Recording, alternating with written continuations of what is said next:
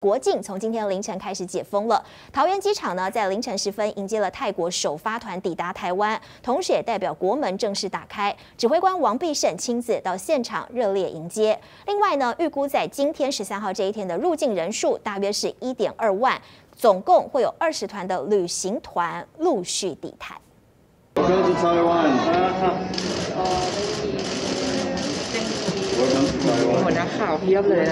直击桃园机场，每个抵达台湾的旅客脸上笑容藏不住。指挥官王必胜更赶到现场迎接泰国首发团来台，更代表着国门正式打开解封了。一下飞机就有专人指引路线，迎接来台第一团工作人员都不敢马虎，快筛试剂、小礼物都不能少。我很喜欢台湾菜，台湾文化。我有很多台湾的朋友，领完行李往外走，旅客们开心合照，更有大批民众在门口亲眼目睹解封一刻。直击五点的桃园机场，旅客们也陆续抵台。十月十三号开始，台湾边境解封，第一个泰国旅行团更在十三号凌晨就搭乘台湾虎航抵达桃园机场。整团共有四十四人，将走访北部、中部景点。另外，据统计，十三号当天入境人数约有一点二万人，旅行团就有二十团，包含日本、韩国、新加坡、马来西亚、泰国、越南的旅行团，共有两百四十四名国际旅客来台旅游。预计在十月底前，将会有两百三十团、三千六百三十人来台观光。在泰国团抵达前，指挥官王必胜早就抵达桃园机场彻底视察，检疫人员也穿上装备，全副武装整理动线，希望把最后的一面呈现给来台旅客，让每个人都能宾至如归。记者刘志展、王一宁桃园采访报道。好，虽然国门已经解禁了，但是提醒大家，现在本土疫情还是在高原期，因为在昨天标出八月以来的第二高峰。好，但是指挥中心宣布的是呢。呃，十三号就是今天凌晨零点钟开始，全球旅游疫情建议要降为第二级警示。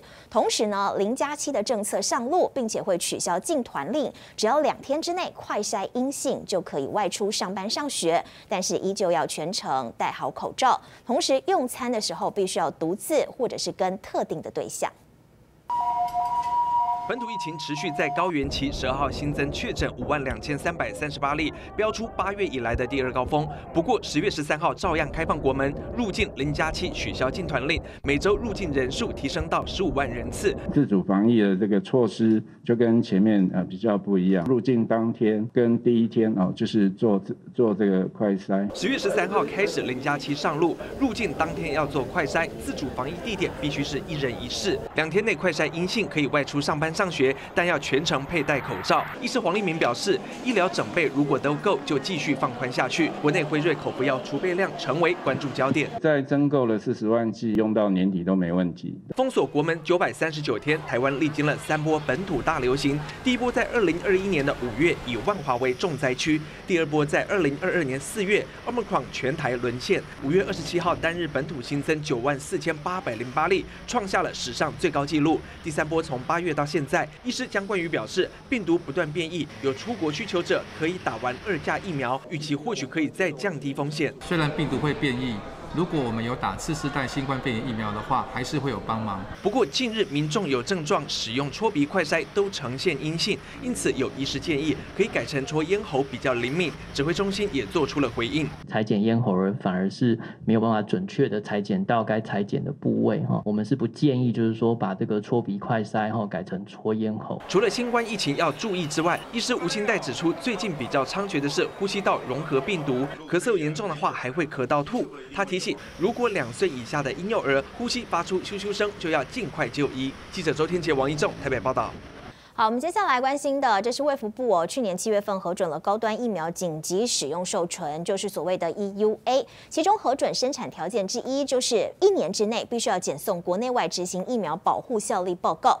卫福这部长呢，薛瑞元已经说了，高端必须在本月底完成补件。如果预期还没有补正资料的话，那么依法就会废止 EUA，到时将公开报告。现在每天呢，大约是有一万名的学生确诊，但是呢，更宽松的校园防疫新制今天就要开始实施了。教育部长潘文忠在昨天说，这个新制度呢，是希望能够让校园的生活还有学习恢复正常，但是后续还是会做所谓滚动式的修正。不过校长团体表示，如果师生出现大规模的感染，仍会采取停课三天的做法来应应。至于境外生入境需要一人一室，有大学说学校的宿舍几乎都不符合规定，希望未来能够再放宽或者是解除。在台南市的仁德区，有一名里长，十二号凌晨传出了心肌梗塞奏事。好，这名里长是在十一号下午的时候接种了次世代疫苗，随后身体不舒服就送医不治，而且还筛出了阳性确诊。怀疑是不是因为已经无症状确诊之后又接种疫苗所引发的不良反应？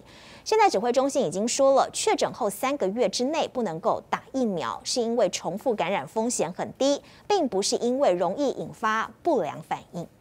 台南仁德区一名里长十一号还在服务处东奔西跑，却传出十二号清晨疑似打疫苗意外走失。